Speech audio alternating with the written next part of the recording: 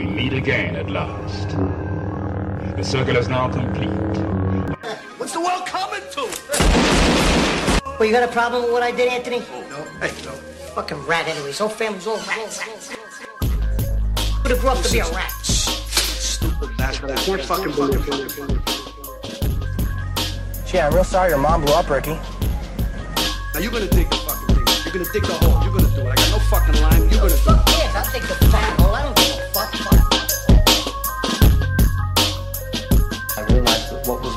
behind that boy's eyes was pure and simple evil.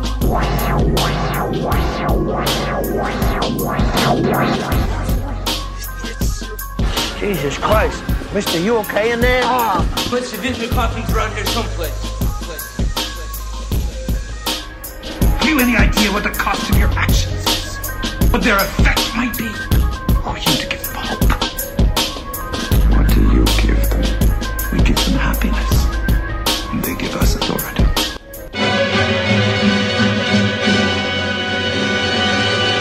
Groovy. What's going on, friends? Logan Myerz here for the Cinephellas podcast, episode 50. Holy shit!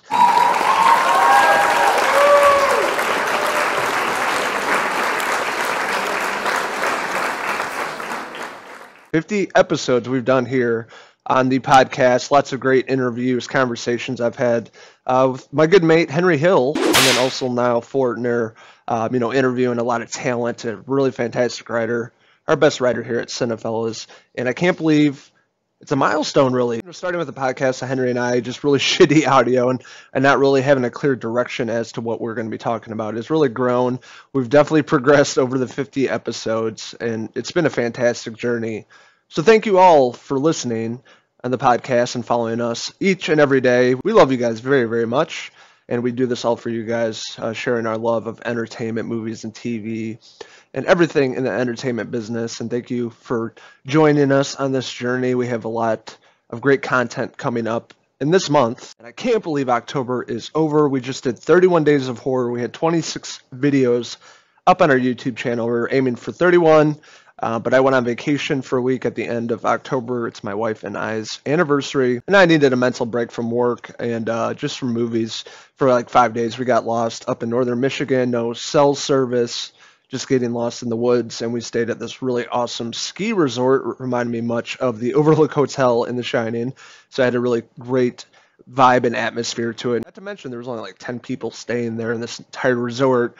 It's their off season and uh, luckily we didn't get hit with snow until after leaving that place. Otherwise we would have been stranded up in the upper peninsula of michigan. Uh, but really had a great time on vacation really had a great time in october talked about a lot of new and old horror flicks, and hopefully you guys checked out a lot of those uh, reviews. I went down to Springfield and hung out with my good mate Henry Hill here at Cinephellas. Hung at his house for like three days. We went to the movies and shot a bunch of videos. We Reviewed Are You Afraid of the Dark? Uh, we did the Shining 4K giveaway. We reviewed Zombieland Double Tap. We had a podcast and a lot of great other content. Uh, I just reviewed The Lighthouse, which is definitely one of my favorite movies of the year. Really great horror flick, and I'm still trying to comprehend everything that Robert Eggers threw at us. And then on Halloween, we had a Halloween special. Henry and I shared our top five horror movies to watch during the Halloween season. So hopefully you guys check that out. If you haven't already, go over there to our YouTube channel, subscribe, like our videos, comment on our videos, and you know, give us some feedback. But besides that, we had a lot of great content on our website. Throughout the month, we had a lot of written reviews by Niall Fortner, the man, the myth, the legend. Yes! And Kevin Muller, he's a good friend of ours on the East Coast, always writing, you know, really great reviews, his thoughts on movies. Uh, I just posted his Gemini Man review. That movie stars Will Smith and directed by Ang Lee. He was the Oscar-winning director for The Life of Pi. Uh, but that uh, review is over on our website. And on the website, we have a lot of like official poster and trailers just released for upcoming movies, which includes Inherit the Viper, starring Josh Hartnett. Ooh, I missed that guy from the 90s. What a heartthrob. But he's in a movie called Inherit the Viper, like I just said, comes out in theaters January 10th. We also have another movie coming out called Mobtown, starring David Arquette, which I just saw him in the new Creepshow episode, which I absolutely loved. I love that dude. And obviously him being in Scream, the Scream franchise, as Dewey. I just love that actor. He's a great dude. So he's starring alongside Jamie Lynn Sigler, Jennifer Esposito called Mob Town. Got a gangster feel to it. He's holding a Tommy gun on the poster of the movie, uh, and that hits theaters December 13th. Besides that, we got a bunch of other reviews on our website, uh, movie news and TV news on our Facebook and Twitter, Instagram, all that good stuff. And uh, we try to keep up to date with that. Sometimes on the weekends we get a, little busy, but uh, you know during the week we're on top of that shit. So check us out on Facebook, Twitter, and Instagram, and also our YouTube channels. You know, subscribe, like us, follow us on this journey. But tonight, I'm talking to one of my favorite actors, a guy I've been following since what 2003, 2004, when he was in the OC.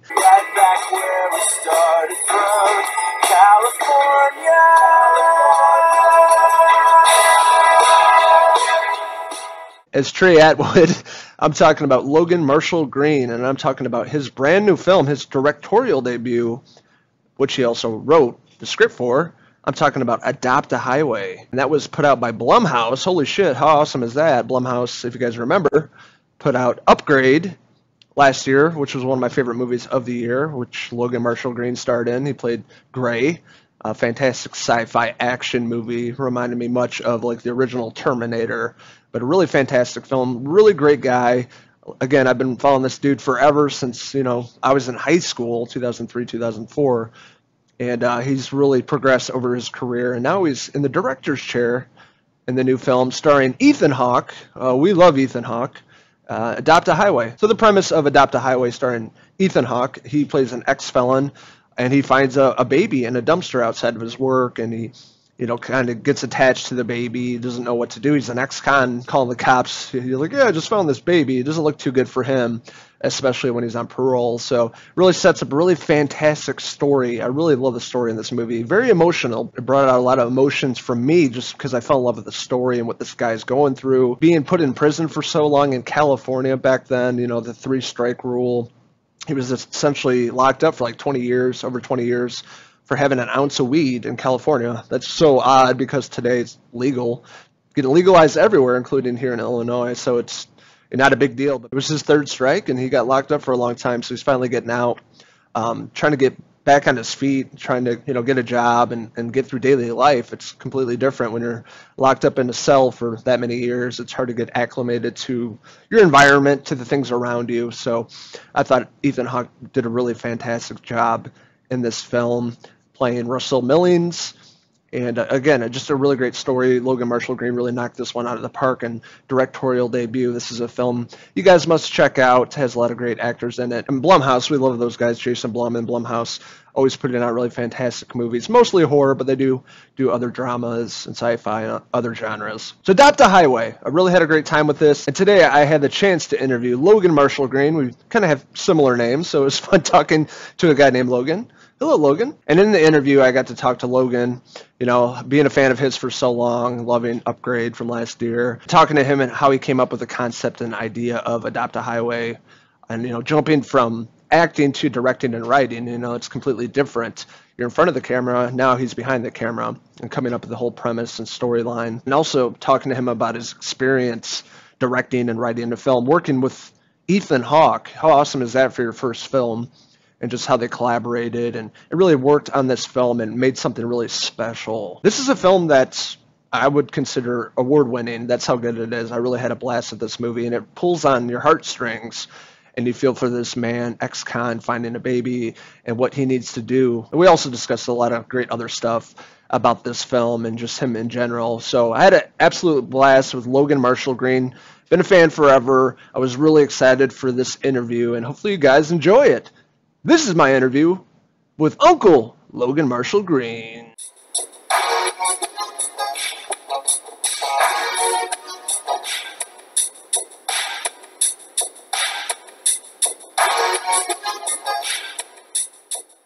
Yo, Hey, Logan. Hey, Logan, you have an awesome I'm name, good. by the way. Yeah, man, you got a pretty cool name too. How old are you? Uh, 34. See, still haven't found a Logan that's older than me except one. Oh, yeah? Who's that, Wolverine? Yeah, you got it, man. Ni- Nice to meet you, my friend. We've been huge fans of your work for a long time, since the OC days, so it's a uh, pleasure talking to you today. Oh wow, man, you are uh, you're patient. you are patient. For sure. Um, sure, dude. Yeah. this is, that's a long time ago, man. That, that's a long time ago. We used to watch it every. I think it was Thursday nights. It was on. Huge fan. Um, but yeah, we've been following the work a long time. Uh, One of our favorite films of 2018 was Upgrade. We absolutely love that flick. So uh, congrats on Oh, that nice, thanks. Thank you. Um, so, so first of all, how did you come up with the concept or idea of Adopt a Highway? Well, I came up with the idea of Adopt a Highway, or I should say, first it started with character, because as an actor, that's kind of where where my strengths are, and I, I, I at least, I don't know about others, but I tend to run from things I fear or are weaknesses. Um, but that said, I also knew my weaknesses um, were narrative that existed outside of genre or explosions or sci-fi or horror. Those are things I know, love, and can do uh, in my sleep. But I knew I was not a seasoned writer or a good one, so I had to kind of go with truth, my own truth, and work with that. Um, and so the character slash Adopt a Highway was born from how lost I was as a father. You know, as a new father, I became a father almost overnight. I Fell in love Mm-hmm. my daughter, and at the same time, though, I was so afraid of her because I didn't want to Mm-hmm. lose her, break her, um, you know, uh, let her get hurt. I just, I, I didn't know what to do. I, I looked online. There was no handbook, you know, on Google for fatherhood. Yeah, man, I'm with you. I had a So that's where it came years- from, man. You know, it's like I wanted to tell a story about what it means to be lost as a father. Because I think there are a bunch of us out there. Yeah, dude, I'm totally one of them. And I watched the film this morning. There's so many emotions that came out of me. I got like a little teary eyed, and I'm not an emotional person at all. And it like hit me, and like it's just a well crafted film, like writing and directing. I loved it. Thank you. Thank you. Um, Truly, man. Thanks. Yeah, no problem. What made you want to make the jump from acting to directing slash writing? Um, well, I, you know, I come from a family of theater directors and I directed some theater in my past and I certainly want to direct more theater in my future. Um, I have a lot of photography in my background. Um, and I, I, I haven't existed as an actor in a trailer. I've existed as an actor, an annoying actor who just stands on set and secretly shadows every department I can.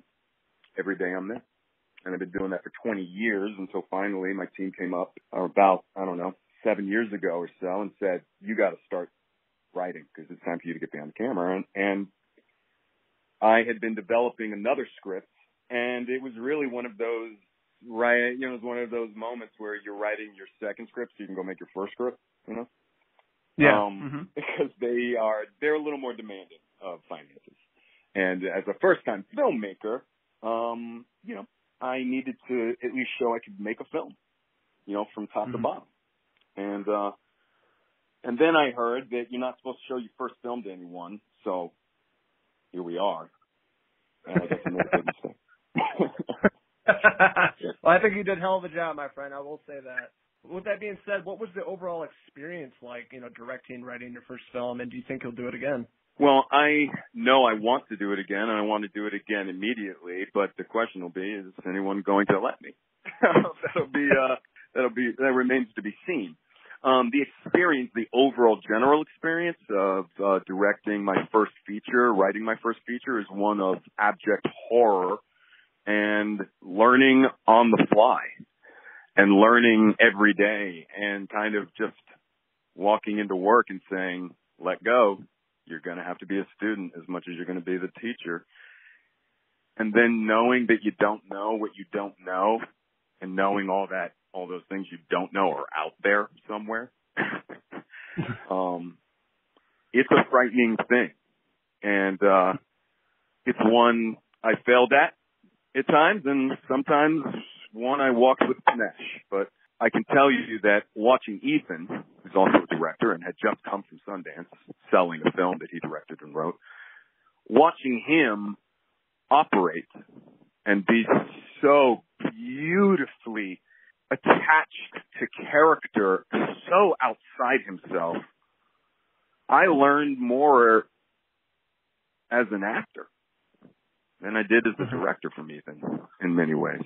And that's saying something because I learned a lot as a director. I owe him so much, you know. Right, and that's pretty impressive. being Ethan Hawke on your first, you know, flick. And I, yeah, I was going to ask you what it was like working with him, and did you guys collaborate a lot on the character, or just kind of let him go at it? Um, well, you know, I- we the as the character's written, it's pretty specific on page. But that said, um, Ethan had to be on board. He had to see the same guy, or he had to see the same heart. He he had come from the same place as I did in many ways. But what he would eventually do is elevate the character beyond anything I could have hoped. Right. And um, you know, and uh, most of my directing in Ethan was wafting a secret or mm-hmm. wafting just a little bit of a sanding down if I he felt ever defensive. Because you know Ethan's an alpha. Ethan's a leader. Ethan is an incredibly strong individual who knows what the fuck he's doing. So that's what makes this performance so beautiful. Is he's playing a guy who doesn't know what the hell he's doing. Ethan's a father of five. He knows he knows exactly. How to hold a baby he knows exactly how to birth a baby. He knows exactly what the baby needs. So you are looking at the ideal number one on the call sheet. Mm-hmm. Because what he's doing and the balls he's juggling in that role are beyond anything you're even understanding while you're watching it. Because he's so he disappears so so seamlessly in that role. And yet you you have no idea the balls I asked him to juggle with a baby and just letting it roll. You know?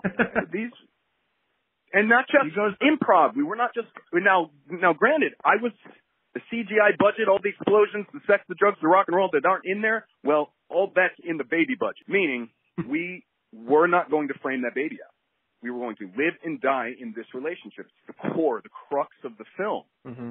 And so when the scenes are written that he, Russell Millings leans over the baby, the key falls out, the baby reaches up and grabs it, you have to simply get lucky.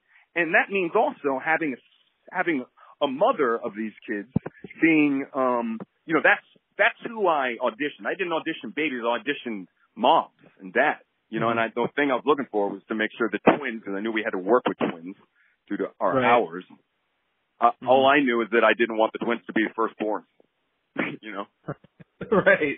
For sure. I wanted a mom who wasn't as precious, so precious. You know, and Right. what we found in in the suckers were in Sarah was oh, uh, was an incredible creative who was just another teammate and wanted to roll her sleeves up and allowed us um, to work with her children um, in a healthy, uh, um, absolutely, uh, you know, of course, correct way. But she wanted to be part of making this story the greatest it could be.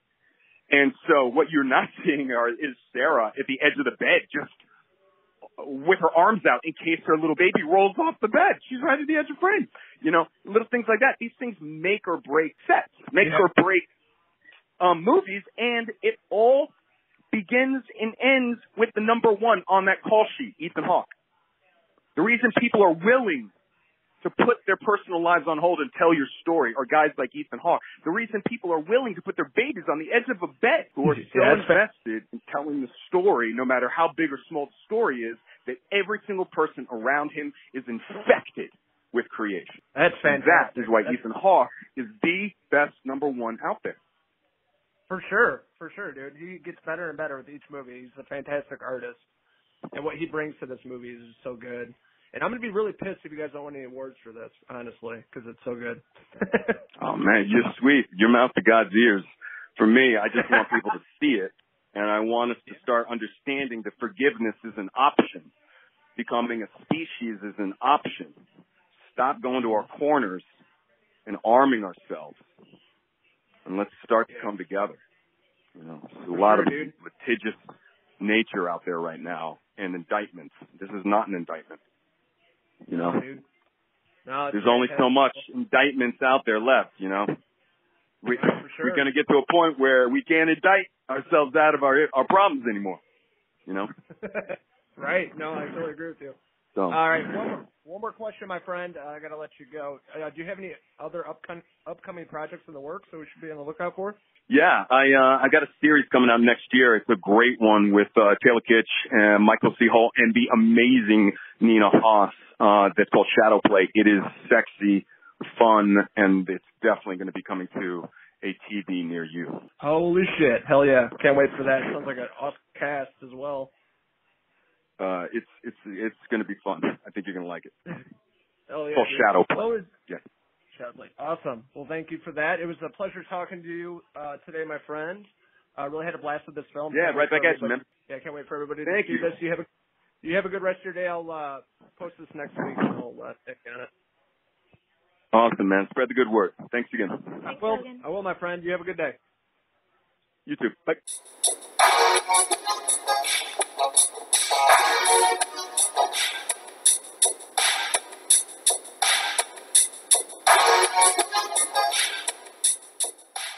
So that was my interview with Logan Marshall Green. What did you guys think? What did you like about it? That was probably one of my favorite interviews I've done thus far. I've interviewed a lot of people over the past 10 years, a lot of actors in the horror industry, um, producers, directors, actors, actresses, but this is definitely uh, top of the list for me. And Logan Marshall Green was everything I expected. He's funny, smart, witty, uh, very informative, and uh, really great conversation. You know, sometimes I forget I'm interviewing them. I just feel like I'm talking to a friend, a friend from high school, and that's how it felt with Logan Marshall Green. Uh, definitely one of my favorite interviews to date. And again, I love this movie so much. I'm very excited for you guys to see this film, Adopt a Highway, starring Ethan Hawke. And Adopt a Highway was released on Friday, November 1st, so definitely go check that out if you guys have not seen this. Definitely support it. Give it a chance. Uh, you know, this is Logan's directorial debut, and he also wrote the script. Um, and I think you guys will fall in love with the story as much as I did, and and also pulled out a lot of emotions for myself. And I think you guys will feel the same way, just getting attached to this story. Seeing this guy, his life was taken away from him for over 20 years just for having weed, an ounce of weed. And Ethan Hawke's character doing what he thinks best in that situation and how everything really turns out in the end. which is a really fantastic ending to the film as well. But I had a really great time with this interview. I absolutely love Logan Marshall Green. Consider him a good friend now. Probably keep in touch. And um, really looking forward to his future work, future projects, and hopefully he directs again because this guy's got something special. And his directorial debut, you can definitely see that um, he's not just an actor. He can be a director and writer and put out some really great films that come from the heart. But coming up this month for Cinephellas, in November, No Shave November. Fuck that. I'm not shaving. We have a lot of great content hitting our website and social media platforms, a lot of great reviews hitting our YouTube channel. I'm really excited uh, for Doctor Sleep that comes out next week on the 8th. I will be going to see that and posting my review right away. One of the greatest horror films ever made for sure, and it holds up over time. So I'm interested to see Mike Flanagan's take on the book Doctor Sleep, which was the sequel to The Shining, and I'm sure it's going to be top notch because Mike Flanagan is one of my favorite new horror directors. Everything he puts out is golden. He has such a unique style to his filmmaking, the color schemes he uses, like the blues, lots of dark colors, you know, and the haunting of Hill House in his films, and also the upcoming Doctor Sleep. It looks like the same kind of color scheme, and he really knows how to direct, how to use cinematography, beautiful cinematography, and you know also capture a lot of the scenes from the original Shining that uh, we could see in the trailer, including the twins and a young Danny riding his bike around that Overlook Hotel, and, and also in the trailer, seeing an adult Danny stick his head through the door at the Overlook Hotel, just like his dad, Jack Torrance, played by Jack Nicholson. And I'm a huge fan of Ewan McGregor, and I think he's going to knock this performance out of the park. So far, the earlier reviews have been praising this film, a really solid sequel to The Shining, and Mike Flanagan did a great job. So I have no doubts in my mind this is going to be probably one of my favorite films of the year. So I'll be checking that out next week and reviewing that for our YouTube channel. Besides that, we got more fellas giveaways coming up movies, digital codes we're going to be giving out to one lucky follower out there. So stay tuned for that. More reviews on our website and YouTube channel and other great content hitting the interwebs. This is Logan Meyer signing out from Cinephellas Studios, Cinephellas Podcast, episode 50. Until the next podcast and interview. Cheers! Love those wild rascals. Love Big Ray's barbecue and automotive.